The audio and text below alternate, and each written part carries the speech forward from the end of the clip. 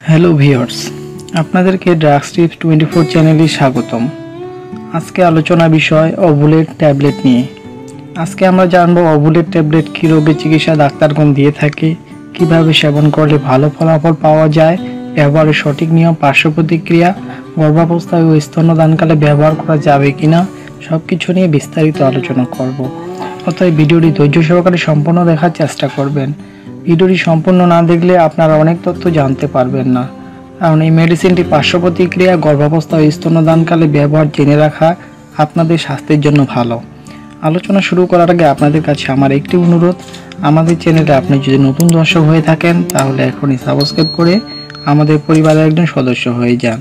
চলুন তাহলে শুরু করা যাক।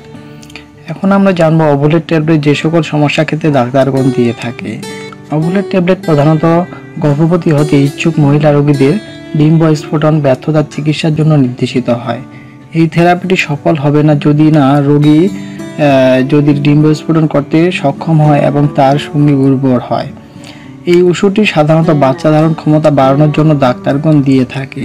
যেসব মহিলার বিয়ে হয়েছে অনেক দিন এবং তার স্বামীর কোনো ইনফার্টিলিটি বা বন্ধাত্বের সমস্যা নেই প্রতিনিয়ত যৌন মিলন করার পরেও বাচ্চা হচ্ছে না, সেসব মহিলার ডিম্ব স্ফোটন করতে খুব ভালো কাজ করে এই ট্যাবলেটটি। এক কথায়, এই ওষুধটি বাচ্চা ধারণ ক্ষমতা বাড়াতে ডাক্তার গান দিয়ে থাকে। এখন আমরা জানব অবুলের ট্যাবলেটের জেনেরিক নাম কি, ট্যাবলেটটি কোন কোম্পানি এবং ট্যাবলেটটির বর্তমান মার্কেট মূল্য কত? অবুলের ট্যাবলেটের জেনেরিক নাম হচ্ছে ক্লোমিফ্যান সাইট্রেট। ওষুধটির প্রস্তুতকারক কোম্পানি হচ্ছে রেনেটা লিমিটেড। ট্যাবলেটটির বর্তমান মার্কেট মূল্য হচ্ছে প্রতি পিস ট্যাবলেটের দাম আঠারো টাকা করে। একটি বক্সে আছে পাঁচটি ট্যাবলেট, বক্সটির দাম হচ্ছে নব্বই টাকা। এই ওষুধটি আপনি আপনার নিকটবর্তী ফার্মেসির দোকান থেকে সহজেই পেয়ে যাবেন। এখন আমরা জানব মাত্রা ও সেবন বিধি। প্রাথমিক সেবন মাত্রা, প্রথমে আপনাকে পঞ্চাশ মিলিগ্রাম দিয়ে শুরু করতে হবে। মাসিকের পাঁচ দিন থেকে শুরু করতে হবে এভাবে পাঁচটি ট্যাবলেট টানা পাঁচ দিন খাওয়ার পর বন্ধ করে দিতে হবে। তারপর প্রেগন্যান্সি টেস্ট টিউব দিয়ে পরীক্ষা করে দেখবেন। যদি প্রেগনেন্ট না হয়ে থাকেন, তাহলে পরবর্তী মাসে একশো মিলিগ্রাম দিয়ে ট্রাই করবেন। মাসিকের পাঁচ দিন থেকে টানা পাঁচ দিন পাঁচটা ট্যাবলেট পূর্বের নিয়মেই সেবন করবেন এবং তারপর খাওয়া বন্ধ করে দিবেন। আবার প্রেগন্যান্সি টেস্ট টিউব দিয়ে পরীক্ষা করে দেখবেন।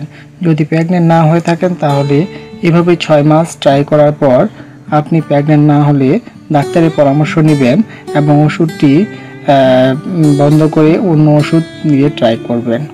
তাই আমি বলব, ডাক্তারের পরামর্শ ছাড়া ওষুধটি সেবন করবেন না।